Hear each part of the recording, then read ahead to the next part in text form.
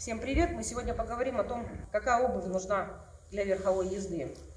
Мое мнение, это однозначно должен быть сапог для верховой езды. Вот такой, например, как у меня. Жестким, жесткий, не мягкий сапог, специальный. Их не зря делают, джуник стоять.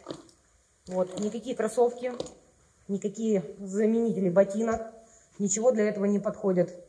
Даже краги, например, вот как любят все декатлоновские мягкие краги, они не особо подходят под верховую езду. Если вы купили хороший крах, например, с кожей, кожаный верх, хороший плотный, да, это подходящее. Но желательно все время рядом с лошадью и верхом находиться в сапоге. Это вам сбережет ваши ноги. Например, если на земле лошадь прыгнула вам на ногу, травма будет не настолько критична. Если вы верхом, у вас нога не провалится в стремя. Ну, естественно, можно засунуть, если при большом желании, можно всегда засунуть. Но вы должны всегда научиться держать стремя четко, ровно, либо быстро сбрасывать его с ноги. То есть не обязательно вам его быстро учиться одевать, стремя. Вот быстрый сброс стремени – это самое основное. Когда-то одна из частниц купила стремя с такими шипами на подошве.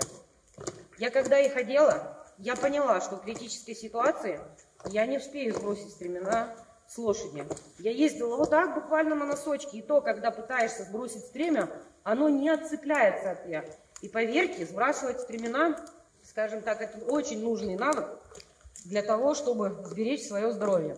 В первую очередь профессиональные спортсмены в критической ситуации лошадь понесла или лошадь козлит, и всадник понимает, что он не может справиться с лошадью, надо катапультироваться, или будет такой инцидент, сразу же сбрасываются стремена, и только потом всадник отстегивается от лошади. Или спрыгивает, или уже падает, или падают они вместе.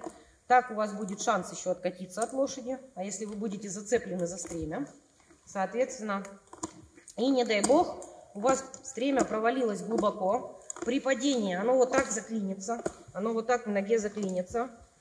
Вы будете следом тащиться за лошадью, Лошадь перепуганная, она будет бояться того, что находится у нее под ногами, потому что вы будете находиться в мертвой зоне, где лошадь не видит. Она будет всячески пытаться от вас либо убежать, либо еще хуже отбиться от вас, пока вы не отцепитесь.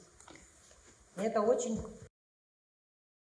страшная тема, тащиться за лошадью. Большинство конников именно этого и боятся. Не падений, не ударов, а именно попасть заклинит, когда заклинит стремя и тащиться следом за лошадью.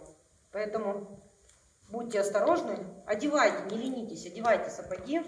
Многие ездят в кроссовках, многие ездят в других сапогах, не предназначенных для верховой езды.